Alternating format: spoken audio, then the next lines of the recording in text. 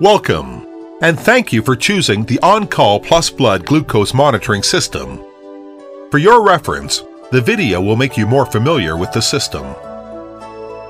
Installing the battery. Turn over the meter and pull out the battery carrier. Place a coin cell battery into the battery carrier. Make sure it's positioned with the plus side facing up. Push the battery carrier into the meter and make sure it snaps shut.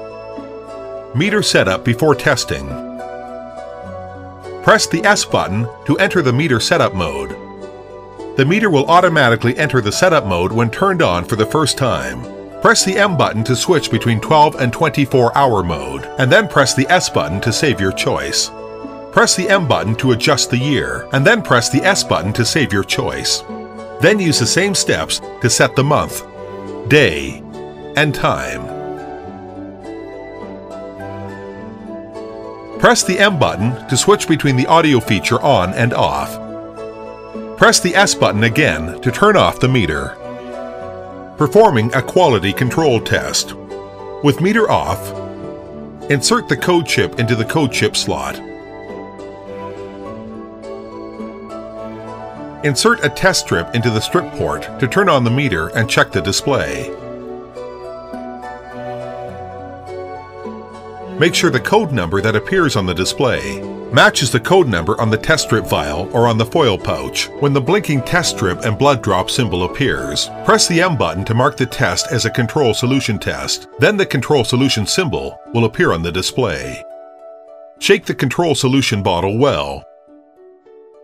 Then squeeze and discard the first drop. Squeeze out a second drop on a clean non-absorbent surface. Touch the sample tip of the test strip to the control solution drop. Once a sufficient sample has been applied, the meter display will count down from 9 to 1.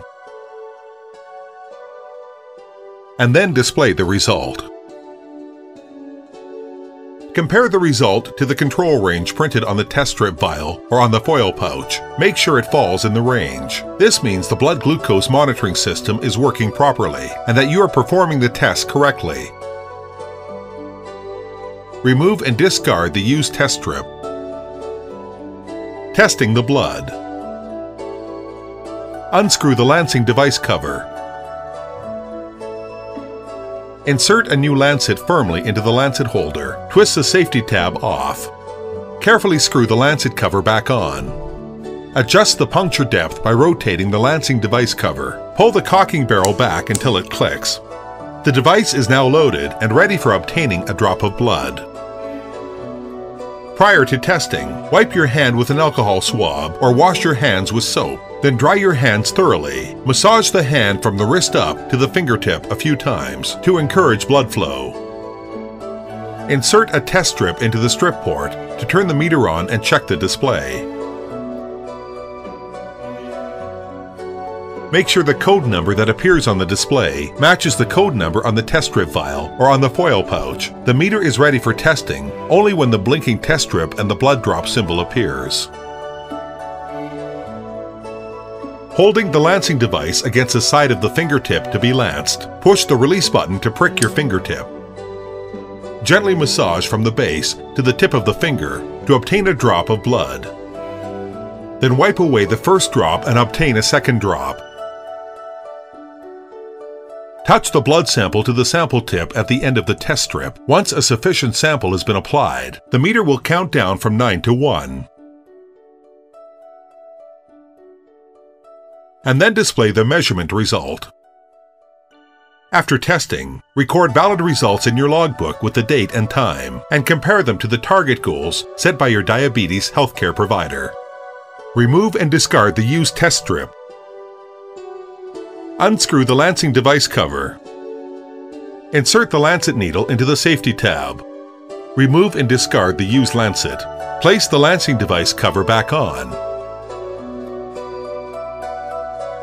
Discard the used test strip and lancet properly. Please follow proper precautions and obey all local rules when disposing of blood samples and materials. Viewing stored records. Press the M button to turn the meter on and enter the memory mode. The most recent value, the word MEM, and the date and time will appear on the display. Press the M button to go through the stored records. A pound sign indicates the record will be omitted from the average calculations. Press the S button to view the data averages. The words day average will appear on the screen. Press the M button to switch between 7, 14, and 30 day averages. Press the S button to turn off the meter. Clearing the memory. Extreme caution should be used when clearing the memory. This is not a reversible operation. With the meter off, press and hold the M button for 2 seconds to enter the delete mode. Press and hold both the M and S buttons for 2 seconds to clear the memory. The display will show MEM and three dashes. The meter will clear its memory and turn itself off after a moment. If you entered the delete mode, but want to exit without deleting the recorded data, press the S button to turn the meter off. Thanks for watching and choose the OnCall Plus Blood glucose monitoring system.